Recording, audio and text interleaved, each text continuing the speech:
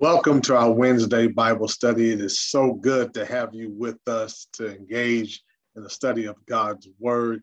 We appreciate Minister B. Chris Simpson for teaching in the month of October and helping us to be more community minded, more ministry minded. Just really appreciate what he brings to the Marsalis Avenue Church of Christ. We're going to begin our study on this day in prayer we always like to ask God's blessing upon our study. Let us pray at this time. Our Father in heaven, uh, we just thank you so much for the blessings of this day, for waking us up, for uh, new mercies that you give us each and every day. Thank you for uh, the sunshine. Thank you for the rain. Thank you for the heat. Thank you for the cold. Uh, thank you for being the God of all seasons, the God of all times. We ask that you will be with us during this session of study on today. Help us uh, to gain those things from your word that you desire for us to know. Help us to grow spiritually. Help us to grow emotionally. Help us to grow mentally. Help us to see your hand in our lives. In the name of your son, Jesus, we pray. Amen on Sunday mornings, we are in a series called Divine Disruptions. So, for the next few Wednesdays, what I want to do is take a deeper dive into Acts chapter 8. During the course of the sermon, uh, there are some uh, aspects that uh, we don't get a chance to really drill down into. And so I want to take the class time to do that on uh, today and the next few weeks. We encourage you to listen to the sermon, Divine Disruptions, uh, from this past Sunday, October the 31st, 2021. You can find that sermon on our YouTube channel. If you have not subscribed to our YouTube channel, we encourage you to do so. So we are in Acts chapter 8, verses 1 through 5. Saul was in hearty agreement with putting him to death, him being Stephen. And on that day, a great persecution began against the church in Jerusalem, and they were all scattered throughout the regions of Judea and Samaria, except the apostles. Some devout men buried Stephen and made loud lamentation over him. But Saul began ravaging the church, entering house after house and dragging off men and women, he would put them in prison. Therefore, those who had been scattered went about preaching the word. Philip went down to the city of Samaria and began proclaiming Christ to them. Uh, divine disruptions. Uh, on uh, this past Sunday, we mentioned how in Acts 1, Jesus instructs his apostles and he gives them this message that they were to wait in Jerusalem, be endued uh, with power from the Holy Spirit, and they would take the gospel message not only in Jerusalem, but uh, Judea. Uh, he says, You'll be my witnesses both in Jerusalem and in all Judea and Samaria, even to the remotest part of the earth. So as we really dissect and look at what Jesus says, uh, we see here on this map Jerusalem, uh, the place where the church would begin, the place from which uh, the gospel would go forth. Uh, so Jerusalem is the city that is uh, in the region of Judea. And the term Judea was first used following Babylonian exile. Uh, Judea is the Latinized spelling of Judah. And so Jerusalem was the capital city of the nation of Judah. It was where the temple was built. Uh, so uh, Judah or Judea has significance going back to the Old Testament. So there was this region of Judea, and it was one of three regions that made up uh, Palestine. The other two were Samaria, and the third was Galilee. And Galilee is uh, the region from which Jesus hailed, Jesus of Nazareth. Nazareth was a city in the region of Galilee. Uh, there, uh, the, the city of Samaria in the region of Samaria had been the capital of the northern kingdom of Israel during the days of the divided kingdom. So Jerusalem was the capital city of Judah uh, during that time, and Samaria was uh, the capital city of Israel. Uh, but over time, Samaria uh, became to be known as a region. And, and so Philip went to uh, a city in the region of Samaria and he began to proclaim the gospel. What was it that sparked Philip uh, proclaiming the gospel? It was this great persecution that broke out following the death of Stephen. The death of Stephen ignited uh, this persecution, it emboldened the enemy against the church. The church had grown, it had blossomed 3,000 on the day of Pentecost. Acts 4 4, there are 5,000 there in the church. As the church organizes for ministry, the church continues to grow. Uh, however, uh, the church, because of its growth, began to face opposition from outsiders. Uh, growth has its challenges. So I want to ask you the question in what ways does growth present challenges? How does growth challenge us? And in what ways does uh, growth uh, challenge us? Uh, what, what, what are some of the challenges uh, that, that growth presents? Uh, sometimes it is conflict, an increased level of conflict that can come with growth. It could be that some people are not happy with the new way things are. They want the old way back. Uh, and, and so that can be a challenge of growth, being able to manage all the people. And we saw this in Acts chapter six. To do the ministry, the apostles had to assign others to do the work, those who could be faithful to handle the distribution of food. Uh, so growth will present challenges in a variety of ways. As the church seeks to recover from uh, the death of Stephen, as they mourn his loss, as they deal with uh, this persecution, uh, the church, the Bible says, uh, was scattered. The apostles remained in Jerusalem, even in the face of this persecution, uh, but there were others who left Jerusalem and they were not silent about their faith. They took the gospel with them. Uh, there are times when we can be silent. Uh, we don't share the gospel as we should. Uh, so, what are the obstacles or circumstances that prevent us from sharing our faith today? Uh, what are your thoughts on that? What, what's blocking you, perhaps? Or what are some of the barriers that maybe you've overcome in sharing your faith? What are the obstacles? What are the circumstances that prevent us from sharing our faith today? And how does our environment compare to that of the early church? Uh, are we less bold in some ways than uh, were the members of the early church? Are we as bold as the early church? How does our environment compare? Uh, was our environment more friendly, or was is it more hostile than that of the early church? What, what are your thoughts? Obstacles that prevent you from sharing the gospel, and what are some of the circumstances, the the, the challenges? Uh, so so the church faced a uh, disruption. There was this concentration of Christians in Jerusalem, but now they had to take the gospel with them.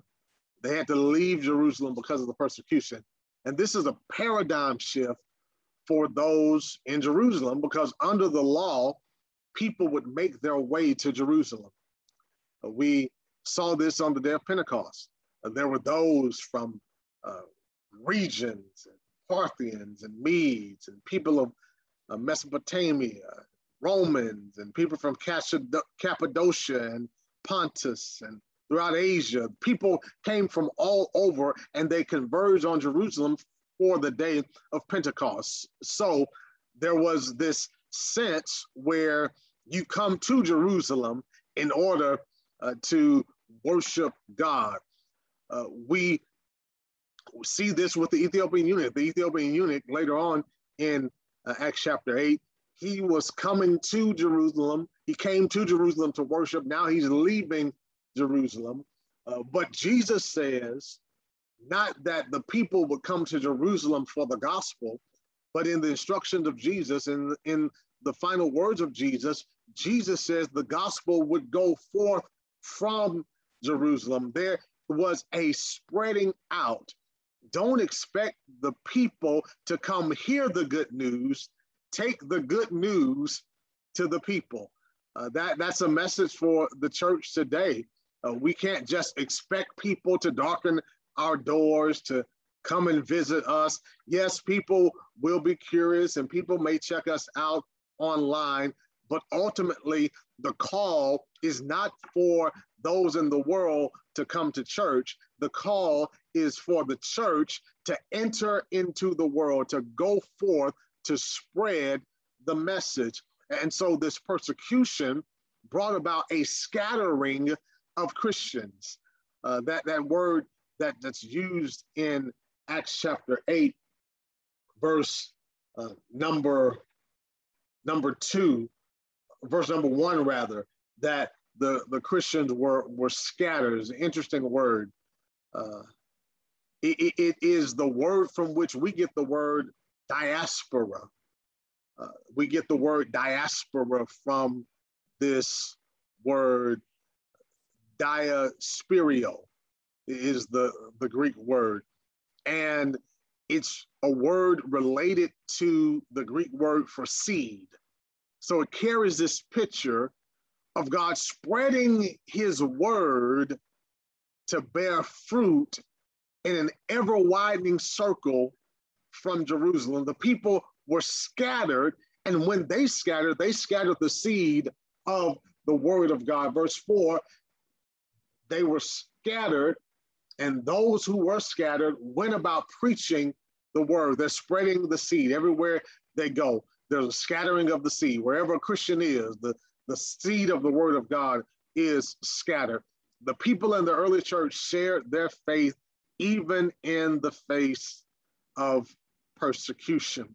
There was a divine disruption in Jerusalem. Uh, and what we see is that God used this di- disruption as a catalyst for the growth of the church. So God uses disruptions to our normal as catalysts for growth. God uses disruptions to grow the kingdom and to grow the individual. Uh, so, how do divine disruptions aid in our growth? What is it about these uh, disruptions? How, how do they aid? How do they, they assist in our growth? Uh, the disruptions can, can spark creativity. They can cause us to rely on God. They can break up the soil of our heart uh, to allow the seed of the word of God to be planted. Uh, so so the church is scattered. Uh, there is persecution, but God uses it for the growth, the benefit of the church. How do we typically respond to the disruptions in our lives? Uh, sometimes we get frazzled. Sometimes we uh, get annoyed, frustrated. Uh, there's a sense of nervousness, uncertainty. Sometimes there's a lack of faith. And, and I think part of it is that we don't see these disruptions as divine disruptions. They feel bad.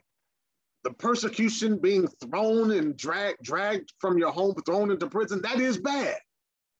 But the Christians of the early century, first century, saw this as God working something out for good. It was an attack of the enemy, but God works in it for good. And so I want to encourage us to see the disruptions as divine disruptions. God can be doing something in the disruption. This the disruption. Sometimes we don't know what it is, uh, but God is faithful. He's doing something in this divine disruption. Maybe uh, He is teaching us lessons. Maybe He is bringing us uh, new opportunities. He's moving us to the place where He wants us to be. So, divine disruptions provide opportunities.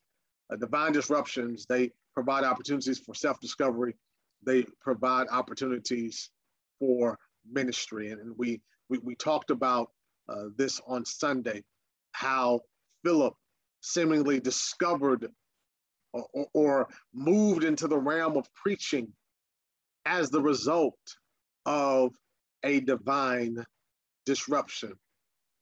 Uh, Acts chapter 8, verses 5 through 8. Philip went down to the city of Samaria and began proclaiming Christ to them. And the crowds, with one accord, were giving attention to what was said by Philip as they heard and saw the signs which he was performing. For in the case of many who had unclean spirits, they were coming out of them, shouting with a loud voice, and many who had been paralyzed and lame, lame were healed. So there was much rejoicing in the city. There's this divine disruption. Philip uh, leaves Jerusalem, he goes to Samaria, and he proclaims the gospel. He shares Christ with them. Uh, he's performing miracles. Uh, see, he, he put the kingdom first. And we have to make sure that we are kingdom minded. And when God disrupts our normal, uh, that we embrace the challenges that are put before us. Uh, sometimes we are reluctant to accept that call. I wonder about Philip's reluctance to answer this call to proclaim the word, to share the word of God. And it's okay to be reluctant. Uh, it's okay to accept the call and the responsibility with humility and perhaps even with some apprehension. But don't let your reluctance turn into disobedience. Uh, so often, that's what we end up doing. We let our reluctance turn into disobedience and we never discover the joys and the gifts that God has for us. So, how do you discover, how did you discover your gifts and talents that you could use for the kingdom? What happened in your life uh, that allowed you to realize, hey, this is what I'm good at, this is what I believe God has called me to be, and God has called me to do? And how would you help someone else to discover their gifts and talents? What what would you share? What would you say to that person? Sometimes we discover our gifts and talents through uh, burdens. Uh, God places a burden on our heart uh, that we have a passion for a particular group of people, particular work. Sometimes our discovery comes through community recognition. Other people see something in us uh, that we don't see in ourselves, or uh, they confirm for us gifts that we think uh, we have. Uh, so it's okay to ask people, hey, what are some of the things that you feel I'm good at? Utilizing the community to help discover your gifts. Because through divine disruptions, more gifts can be brought out. Uh, the gifts that God has given us. Uh, so, what are some of those divine disruptions in your life? Think about your life. What have been some of those uh, divine disruptions? As you look back over your life, you see the hand of God there. Uh, you see the inconvenience, but God was with you. God was working. God was moving in it. Uh, so Philip takes the gospel to Samaria. He didn't wait on them to come to him. the city of Samaria, in the region of Samaria, uh, he goes to this city, proclaims Christ to the people, and the crowds, they pay attention to Philip. Uh, Philip is proclaiming the gospel, he's healing people, he is casting demons out of people. Sounds a lot like the ministry of Jesus. Uh, we see in Matthew chapter 4, verses 23 through 5, verse number 2. Matthew 4, 23 through 5, verse 2. Jesus was going through throughout all Galilee, teaching in their synagogues, proclaiming the gospel of the kingdom and healing every kind of disease and every kind of sickness among the people. And the news about him spread throughout all Syria, and they brought to him all who were ill, those who were suffering with various diseases and pains, demoniacs, epileptics, paralytics, and he healed them. Large crowds followed him from Galilee and the Decapolis and Jerusalem and Judea and from beyond the Jordan. When Jesus saw the crowds, he went up on the mountain, and after he sat down, his disciples came to him. He opened his mouth and began to teach them. Uh, so, so we see here uh, how Jesus went about healing, but he also engaged in the ministry of the word. Uh, there was th- this ministry to the felt needs of the people, but there was also this ministry to their ultimate need, which was a need for God in their lives. And so Philip continues in this vein, and the work of the Lord done through Philip brought much joy to the city because the lives of the people were better because Philip was there. Philip helped to change the condition of uh, the lives that these people were living. Uh, and so there was ministry being done, there was self discovery on the part of Philip. Then in Acts chapter 8, verses 9 through 13, now there was a man named Simon who formerly was practicing magic in the city and astonishing the people of Samaria, claiming to be someone great. And they all, from the smallest to the greatest, were giving attention to him, saying, This man is what is called the great power of God. And they were giving attention, they were giving him attention because he had for a long time astonished them with his magic arts. But when they believed Philip preaching the good news of the about the kingdom of God and the name of Jesus Christ, they were baptized, men and women alike. Even Simon himself believed, and after being baptized, he continued on with Philip. And as he observed signs and great miracles taking place, he was constantly amazed. So Philip and the Samaritans experience a divine disruption that leads to their salvation. Uh, Simon, rather, Simon and the Samaritans experience a divine disruption. Simon practiced magic or sorcery, uh, and it was not the type of magic that we see today, card tricks or uh, making coins disappear. Uh, his his magic elevated him to the status of being someone great. And he said himself, I'm someone great. He was kind of uh, enigmatic about who he was, part of the mystique uh, about being a sorcerer, being Simon. Uh, but the people started filling in blanks. And they said, Simon must be great power of God. Simon had been doing magic for a long time. Uh, he was had as an audience the educated and the uneducated, the great and the small. And when we look at scripture, we see that there is, in fact, a legitimacy to some of these works of darkness, and witchcraft uh, is considered a work of darkness, sorcery considered a, a work of darkness. But watch what Jesus says in Matthew 24 24. For false Christ and false prophets will arise and will show great signs and wonders so as to mislead, if possible, even the elect.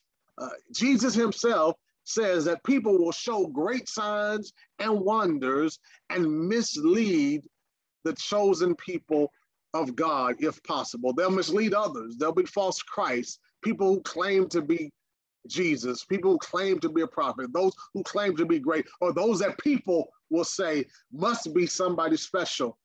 But Jesus says that they will be fooled by the signs and wonders that these people perform. Second Thessalonians chapter 2, verses 8 through 10 uh, shares, then that lawless one will be revealed, whom the Lord will slay with the breath of his mouth and bring to an end by the appearance of his coming. That is, the one whose coming is in accord with the activity of Satan, with all power and signs and false wonders, and with all the deception of wickedness for those who perish because they did not receive the love of the truth so as to be saved. Uh, so, here in reference to uh, the end of time and the dece- great deception that will occur, uh, Paul talks about this being the activity of Satan. Uh, but there will be power, there will be signs, uh, there will be some false wonders. People will be deceived. So, the, the goal of this work that was being done the goal is deception and distraction. Deception and distraction. Satan desires to deceive us, to get us to believe a lie instead of God's truth, and he wants to distract us. If he can deceive us and distract us, he pretty much has won. If he can deceive us and get us to chase after that which is false, and if he can distract us from sharing the gospel, then he's won. So, what is it that has your attention? Uh, the people of Samaria were paying attention to Simon and his false signs and wonders. Uh, what has your attention? Does God have your attention? Or, or uh, is there distraction in your life, or are you being deceived? The people of Samaria were being deceived by Simon, but when they heard Philip preaching about the kingdom, they were baptized. Philip combined miracles with the preaching of the word, like the apostles did. Uh, but while these contributed to the efficacy of his preaching, the emphasis in Acts 8 is that they obeyed the word. The word, the gospel was what his life was dedicated to. He preached, he proclaimed the gospel. His miracles of healing may have attracted attention to him, and they opened the avenue uh, to the hearts of those men and women who would hear them. Uh, but the conversion was due to the preaching of the word. Whenever the word, the pure truth of the gospel is proclaimed with freedom, with fidelity, when it's received with attention and diligence, it will bring forth the fruit that God desires. No matter how entrenched someone may be in what they believe, when they are presented with the alternative of the gospel, the gospel can make a difference. So we must never underestimate the transforming power of the gospel. People are just waiting to hear this message that presents them with an alternative. They are ready to listen to the word of God. And the power of the gospel is authentic. Simon believed, uh, the one who was deceiving others. He heard truth and believed the truth. And the response to the gospel, the proper response is belief and then baptism. It has not changed. The church teaches faith in Jesus Christ, repentance, confession, baptism. There is a proclamation of the gospel, and the proper response to proclamation of the gospel is faith and baptism. And we see with Simon, after he is baptized, he follows Philip. There's a need for discipleship. There's a need for people to be able to learn some more. There's a need for them to grow. It can be overwhelming, this Christian walk. And so that's why it's important for Christians to walk with others, uh, walk with those who are new to the faith. It's important for them to be disciple makers.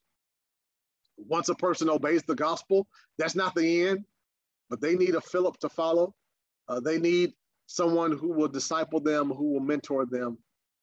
And so, as we wrap up, who are the people in your life that you can disciple? Who are you discipling? Uh, who is watching you?